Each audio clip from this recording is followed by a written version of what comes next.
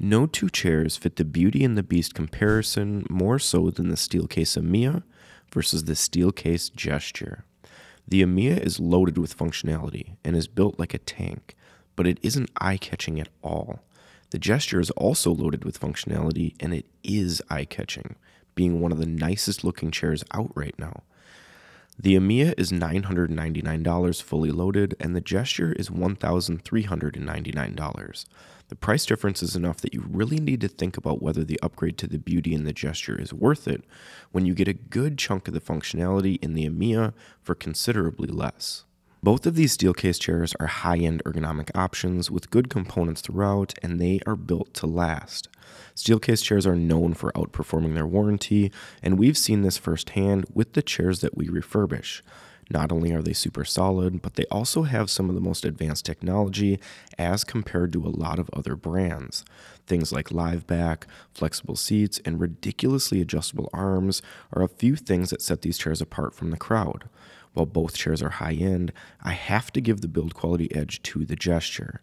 Not only does it have more advanced technology and more adjustments, but it just looks a lot better. The Amia is about as basic as it gets. You do not buy the Amia because of its looks, but because of its function. The gesture gives you the function from the Amia, but with one of the most attractive designs in the office furniture industry. The way that the gesture adjusts is also super cool. All of the seat and back angle adjustments can be done by placing your hand just under the right side of the seat. The controls are super easy to access, very easy to use, and they're hidden. The adjustments on the Amia aren't annoying to use, but they're not as neatly placed as the gesture, and they don't look as sleek. The seat is one area where I think these two chairs are quite a bit different. The first difference is the way the seats are designed. The Amia uses a thick plastic shell with a layer of foam and then fabric.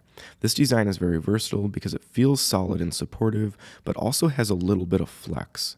I move my legs quite a bit, so this flexible design is pretty important to me. The gesture has a similar design, but the plastic shell is smaller and the front is softer than the leap, giving you even more flexibility to move around while you work.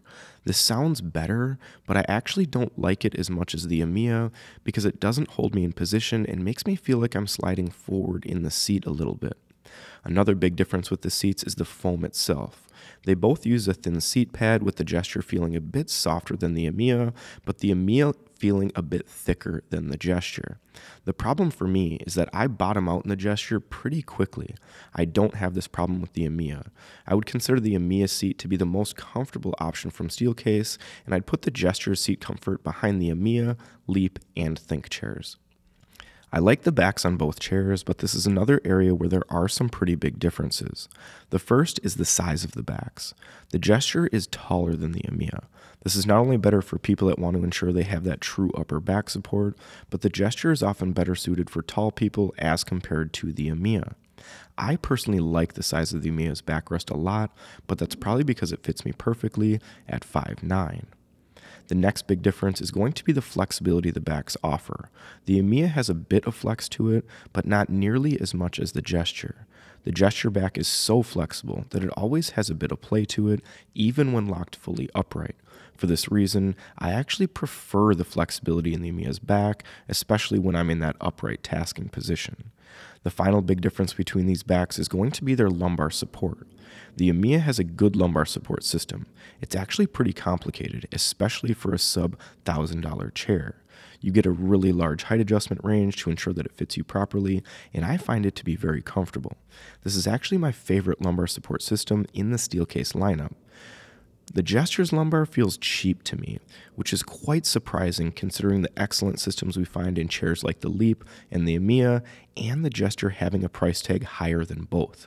I think the lumbar on the Gesture is still supportive due to the overall shape of the back and the height adjustment system that's available, but I wouldn't pick this as my go to option for people that want a top notch lumbar system. The arms have quite different designs, but you can't go wrong with either option. Both chairs are top of the class for armrests. The Amia uses a typical design for height adjustment, but the arm cap adjustment is next level. The caps adjust forward to back, side to side, they swivel, and they also have a unique articulating motion. The cap adjustments combined with the massive height range makes the Amia arms a good fit for almost anyone that would use the chair. I love the Amia arms. The arms are one of the biggest reasons why I could use the Amia as my daily driver, and truthfully, they're better than the arms on the Fern chair, which I'm currently using now. I haven't even mentioned the pads yet, but aside from the Aeron Remastered, the Amia has my favorite arm pads. They're a good size, a nice shape, they lay flat, and they also have soft padding. The gesture arms are a very similar story to the Amia.